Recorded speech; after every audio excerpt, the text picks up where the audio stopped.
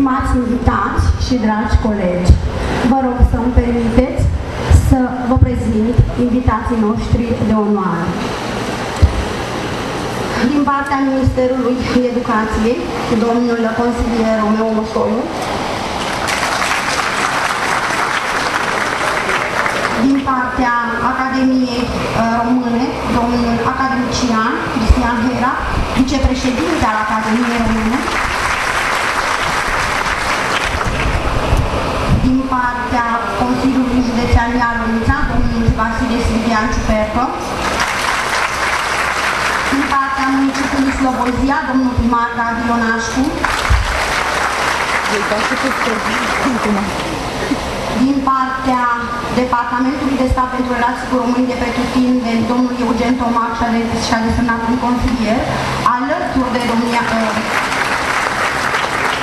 avem prezent în sală, prezent, prezent în sală este uh, deci, uh, Comisia pentru Politică Externă din Senatul României, este, se își face făcută prezența prin vicepreședintele, senator Viorel Badea,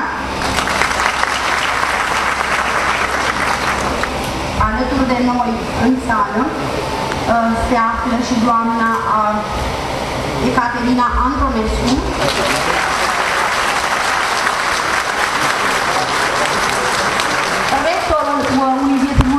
Universității Politehnice, Politehnice București, fost ministrul al educației. Alături, uh, alături de noi se află domnul inspector general al Inspectoratului Școlar Județean Ialunița, Stavăr Petre, Stavăr Gheorghe. De asemenea, doamna inspector general adjunct Rodica Luminița Barcani, doamna inspector general adjunct, doamna, direct, doamna directoare a cursului casei copii didactic Ialunița Gabriela Vodea,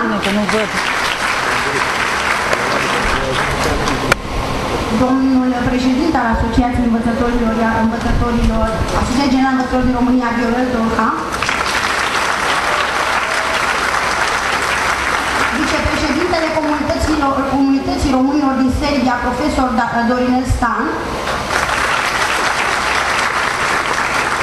conferențiar universitar dr. Vasile Molan, Facultatea de Psihologie și Institutul al Educației Universitatea din Serbia, președintele Centrului Cultural Informativ al Românilor de Pretutindeni din uh, Brestov, Zbor, Serbia, Boian Barbuțci, Maria Popescu, profesor eminent al învățământului public din Ucraina,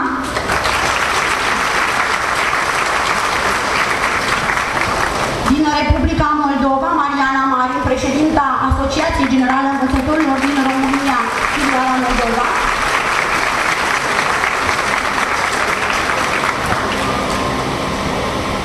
Îmi cer scuze dacă am adus pe cineva, lista invitațiilor era mult mai mare și de aceea și de ruta din partea mea, pentru că nu toți au onorat astăzi prezența de aici. Pentru început, vă rog frumos să îmi permiteți să ascultăm urarea de bun venit a copiilor din Slobozia, grupul vocal la Paris, va face o urare așa cum știu ei, în stilul lor caracteristic. Vă rog să-mi permiteți să invit copiii în scenă.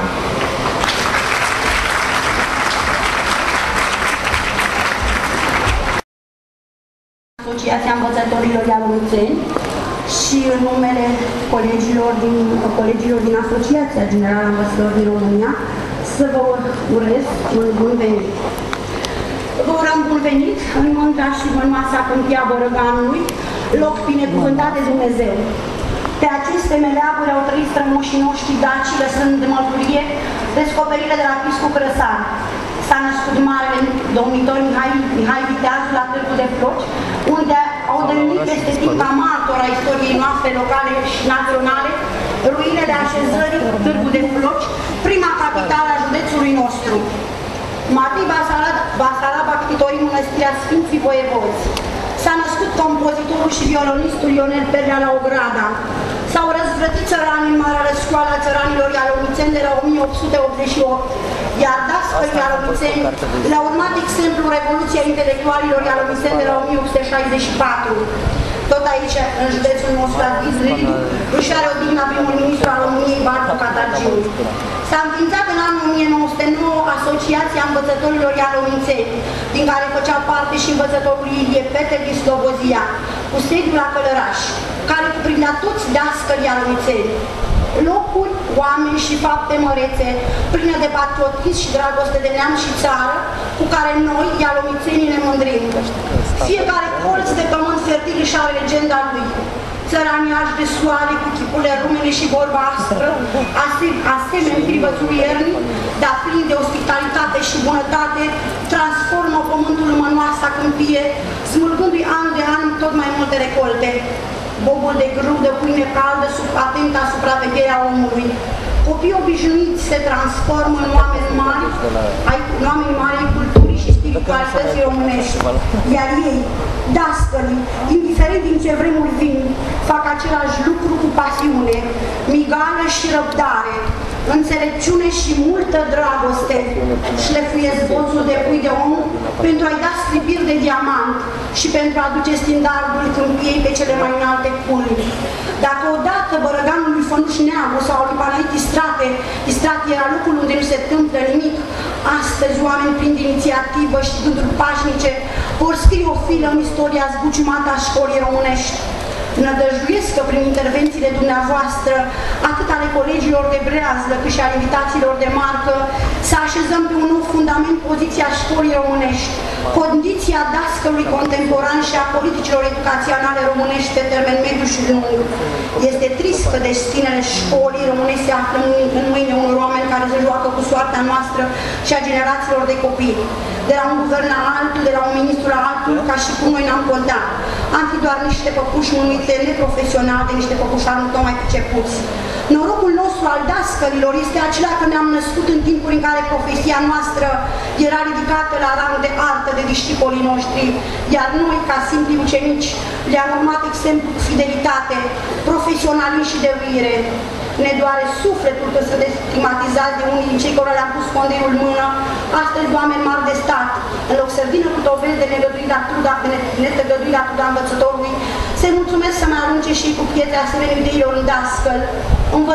Învățătorul rămâne solitar credului său, acela de a modela suflete și de a crea destine, simplu și modest, timid și bine crescut, s-a învățat să tacă, să asculte, să execute pentru a nu deranja pe cei din jur. Suportă cu stoicism tăreile salariale, sarcasmul unor părinți nu tocmai intenționați, modificările aduse învățământului de la un ceas la altul, umilința că nu-și poate permite luxul de a-și cumpăra o carte bună, de a avea un computer personal de o altă ținută, de a avea o vestimentație măcar egală cu a elevilor, elevilor lor, de a-și petrece concediul măcar în țară. Întrebările firești ale dascărilor cu părul cărun și fața ridată de ore de trudă aplicate asupra copiilor, cărților și caietelor în aceste vremuri truburi sunt Cui vom preda ștafeta în viitor? Ce trebuie să facem pentru a atrage tineri valoroși în învățământ? Cu ce competențe se mai înzestrăm pe elevii noștri pentru a-și întoarce fața către școală? Cu ce deziderate trebuie să vină politicienii pentru a păstra profesioniștii în sistemul educațional? Ce metodologii trebuie să cuprindă noua legislație pentru a fi de nota 10? De ce nu sunt implicați dascării adevărați în materie de reformă? De ce nu avem manuale în fiecare an? De ce trebuie să scriem sute de pagini pe care se trimite de la o comisie la alta pentru a ne arăta competența și profesionalismul? Ce trebuie să facem pentru ca asociațiile profesionale și pe locul meritat în societate și întrebările pertinente continua. Rămâne ca noi, toți și prezenții sale la această acțiune, să găsim răspunsuri și să așteptăm pe hârtie soluții pentru a fi validate de mai mari noștri. V-am invitat la acest congres la Slobozia, în inima câmpiei Bărăganului, pentru a vă arăta cât de întinsă este zarea și cât de larg este orizontul aici, la noi, la Ștes, pentru a vă inspira din măreția naturii și pentru a privi cu alți ochi realitatea. Panet distrat în lucrarea Ciulinii Bărăganului afirma dacă vrei să te afli singur cu Dumnezeul tău, atunci du-te pe Bărăgan. E ținutul pe care Creatorul a hărățit munteniei pentru ca românul să poată visa în voie. Urez succes în numele colegilor din Asociația Învățătorilor Ialomițeni, gazda acestui eveniment și al meu personal, lucrării celui de-al 32-lea congres al AGIO, Congresul Cadrelor Didactice din România și al Cadrelor Didactice pe peste hotare, ce se derulează la Slobozia și Amara în perioada 25-28 august 2011. fie ca bunul Dumnezeu să ne lumineze calea și mintea, să ne deschidă uși care uneori sunt deschise în aparență, dar delicate în realitate, să aveți parte de clipe plăcute și utile atât pe plan profesional cât și personal. Să plecați de aici cu mulțumirea că drumul nu v-a fost zadarnic, să duceți colegilor dumneavoastră amintiri de nezdruncinat și poate măcar promisiunea de mai mult și mai bine.